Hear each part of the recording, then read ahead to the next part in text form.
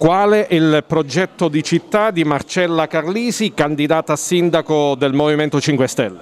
È una città a misura di cittadini, noi vogliamo ascoltare i cittadini e prendere assieme a loro quelle determinazioni che sono importanti per eh, la vita in città.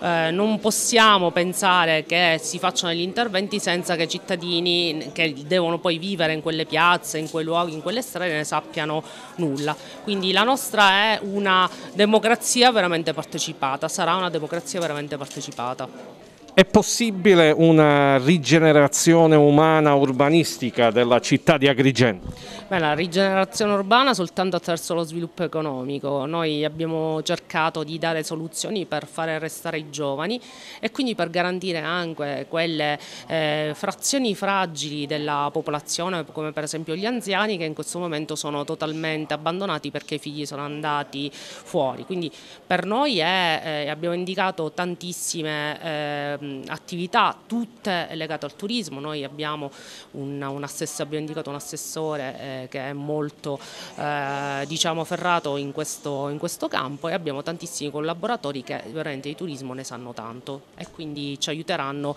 allo, a sviluppare questo, questo settore per la città di Agrigento. Una sua priorità, lei è stata per cinque anni consigliera comunale d'opposizione eh, mettere il, il, cittadino al centro della città, quindi il cittadino deve sapersi muovere, deve avere tutte le informazioni per avere ciò che eh, desidera, quindi servizi o eh, informazioni in maniera facile e non deve andare a chiedere il favore a nessuno per avere queste cose che gli spettano di diritto.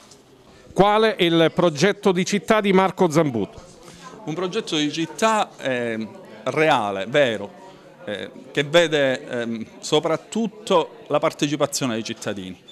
Eh, abbiamo invece, e dall'incontro di oggi è emerso in maniera molto chiara, ha, avuto in questi anni raccontato una favola di una città che cambiava, di una città nella quale c'era un'idea, ma abbiamo visto che c'è stato soltanto il nulla, un racconto di una fiaba rispetto a una vita reale assolutamente diversa, assolutamente altra. C'è stata raccontata una favola, non c'è un finanziamento, non c'è un progetto che è stato portato avanti e realizzato in questi anni. Ne abbiamo preso atto anche qui nel confronto con gli ordini professionali e soprattutto è stata eh, commessa una, un grande eh, nei confronti della città di Agrigento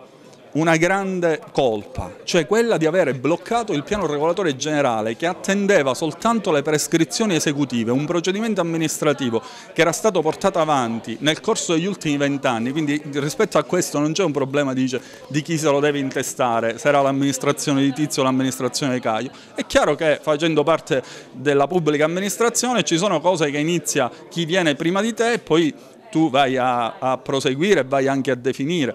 Bene, rispetto al piano regolatore generale della città, che è quella strumentazione rispetto alla quale tutti i cittadini attendono per avere legittimamente risposte ai, ai propri interessi legittimi, nel momento in cui dovevano realizzarsi le prescrizioni esecutive è stato rimesso tutto in discussione, quindi non dando più una definizione sui tempi di realizzazione e soprattutto eh, non individuando alcun gruppo di progettazione, lasciando le cose in aria, assolutamente in aria. Non è possibile questo per una città che ha invece bisogno proprio di ripartire. In questi anni è stato messo il tasto pausa nella vita quotidiana della città, occorre ripartire andando a recuperare finanziamenti. Questa è una città che in questi anni ha recuperato forse 3.000 euro come finanziamenti esterni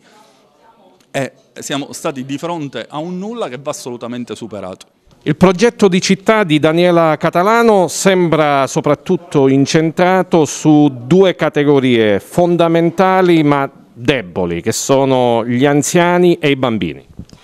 Certamente è un progetto che non può non tenere conto di due categorie che sono quelle più deboli e sono quelle che abbiamo il dovere di tutelare per quello che hanno dato a noi e per quello che noi dobbiamo impegnarci a dare a loro. Questo significa poi un po' tutto, significa abbandonare il concetto di periferia che ovviamente richiama a una marginalità funzionale, economica e di servizi e quindi abbandonando questo concetto e partendo da una visione che è di unicità ma unicità, cioè città unica, noi dobbiamo dare servizi e parliamo di cose semplici, di parchi giochi, di punti di incontro, di viabilità più costante, non ovviamente una tantum in orari diciamo non sempre utili per le esigenze di tutti in modo tale che sia tutto un grande centro. In questo grande centro il bambino, la mamma, l'anziano possa trovare quella sua autonomia che in questo momento non ha. E poi la cosa che è molto suggestiva è che è di facile attuazione, cioè se noi gli sforzi impiegati nella ricerca dello spot più carino li avessimo impiegati mettendoci attorno a un tavolo